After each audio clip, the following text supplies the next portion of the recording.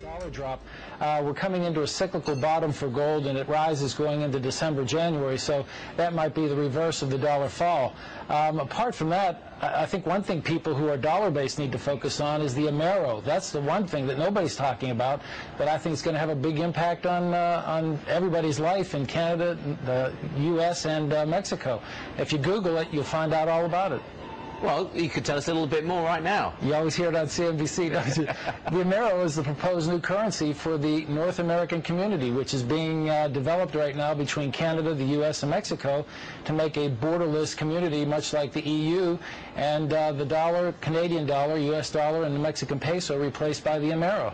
Um, you, you really think that will get any, any leeway? Uh, you may want to visit a couple of websites and see how far along it is. The Canadians are pretty upset about it, whereas the Americans, apart from the Texans, um, are the only people who know anything about it. The, the rest of the public's really um, sort of with their head in the sand on this one.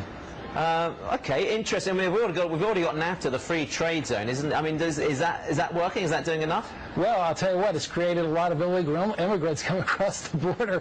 Um, I don't know. You get the pros and cons on this thing. NAFTA for some people is a very good thing. For other people, it's been a disaster. And uh, I think this is one way that the politicians are trying to work themselves out of what potentially could be a disastrous situation going forward.